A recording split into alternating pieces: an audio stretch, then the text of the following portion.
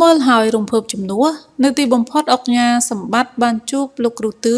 ហើយថែមទាំងបានធ្វើរឿងនេះជូនក៏ទៀតសូមបញ្ជាក់ឡើងវិញបន្តិចផងដែរថាកាលពីពេលកន្លងទៅពុកម៉ែបងប្អូននិងទស្សនិកជនជាច្រើនអ្នកផ្ទុះការចាប់អារម្មណ៍វីដេអូរបស់អ្នកសម្ដែងមីក្រុមតាមបណ្ដាញសង្គម Facebook ដែលបានបង្ហាញសកម្មភាពប្លែកៗគួរឲ្យចាប់អារម្មណ៍ដោយមិនធ្លាប់ឃើញពីមុនមកមានដូចជា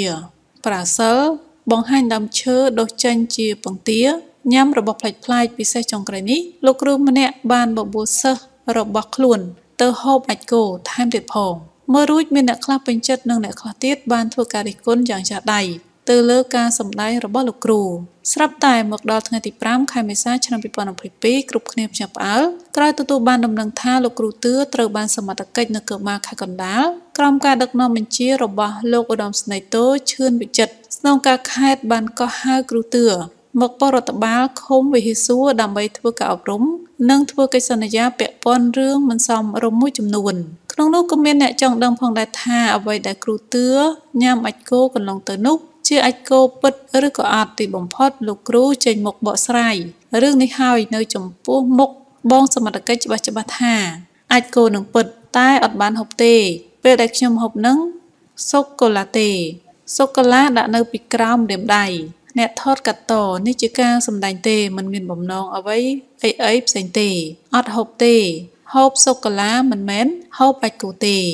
មិនយូរប៉ុន្មាន ក្រោយពីដឹងរឿងនេះស្រាប់តែអុកញ៉ាសម្បត្តិក៏បាននិយាយថាខ្ញុំចូលចិត្តមើលវីដេអូពួកគាត់ហើយតែងតែសើចសប្បាយជារៀងរាល់ថ្ងៃជាពិសេសតួអង្គគ្រូទឿតែម្ដងខ្ញុំដឹងថាពួកគាត់ផលិតវីដេអូដើម្បីរកប្រាក់ចិញ្ចឹមជីវិតមិនដឹងថាធ្វើទៅប៉ះពាល់ដល់មុខមាត់ប្រទេសនោះទេ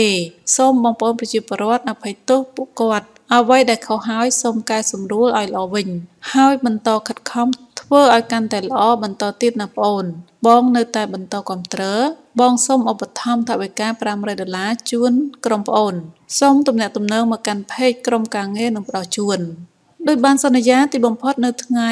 នេះថ្ងៃទី6ខែមេសាឆ្នាំ2022អុកញ៉ាសម្បត្តិបានជួបគ្រូទឿហើយថែមទាំងបានធ្វើរឿងមួយនេះជូនទៀតក្នុងនោះអុកញ៉ាចិត្តធននេះបានបញ្ជាក់បន្ថែមថាថ្ងៃនេះក្រុមប្អូនទឿហៅគ្រូទឿបានអញ្ជើញមកទទួលថវិកា500ដុល្លារពីខ្ញុំហើយពួកគាត់សុទ្ធតែជាមនុស្សខិតខំប្រឹងប្រែង ធ្វើការងារសុចរិត និងមានមុខរបរផ្ទាល់ខ្លួនឆ្លៀតពេលថតវីដេអូកំសាន្តដើម្បីជាការកំសាន្តនិងបងប្អូនសើចសប្បាយអ្វីដែលខុសឆ្គងមកពីគ្នាមិនដឹង ហើយខិតខំកែតម្រូវដើម្បីបង្កើតអ្វីដែលថ្មីថ្មីផ្ដល់ជាចំណីចក្ខុមកកាន់មហាជនសើចសប្បាយបន្តទៀតចាតើតើទៅនឹងអត្ថបទនេះក៏សូមបញ្ចប់ត្រឹមតែប៉ុណ្ណេះសូមអរគុណសូមគោរពលា